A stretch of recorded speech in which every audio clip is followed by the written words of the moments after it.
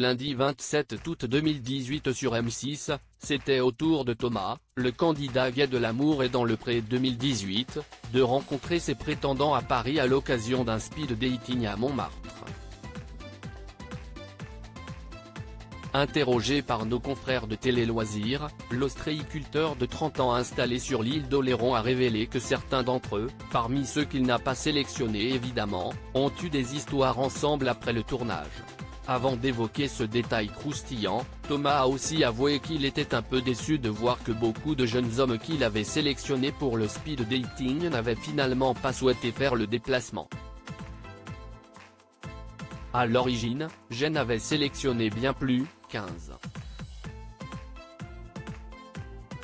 Beaucoup de gens se sont désistés dès l'instant où ils ont appris qu'ils passeraient devant les caméras. J'ai été surpris parce que je ne m'attendais pas à ce que l'émission leur fasse aussi peur. Ça a son avantage. Seuls les plus courageux sont venus, a-t-il expliqué. Dans la foulée, Thomas a ainsi révélé que des histoires sentimentales avaient pu naître parmi les candidats malheureux qui s'étaient rencontrés à Paris. Les prétendants qui n'ont pas été retenus ont pu faire connaissance les uns et les autres. Il y a eu des échanges.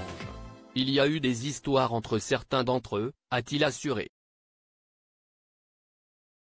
En ce qui concerne son choix de garder le dynamique Gareth et le calme Romain, le beau trentenaire de Charente-Maritime a finalement expliqué, ce qui m'a séduit chez Romain, si est son côté séducteur, rassurant, fort, intelligent et frais.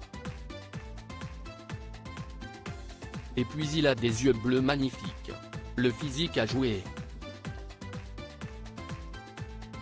C'était la cerise sur le gâteau. Gareth a une vitalité extrême, dans le sens positif du terme. L'amour est dans le pré 2018, CIST chaque lundi à 21h sur M6.